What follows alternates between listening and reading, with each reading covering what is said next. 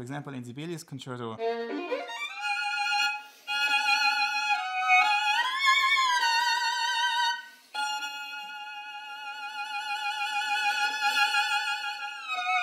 on that long note, which has a big crescendo on it, ideally I want to play like this on one bow. However, sometimes orchestras can be very, um, they get kind of carried away. The strings come in and it's very rich sound and it's beautiful, but as a result, you're not going to hear most of that note actually until the very end, and I think that's too bad. So sometimes what I do is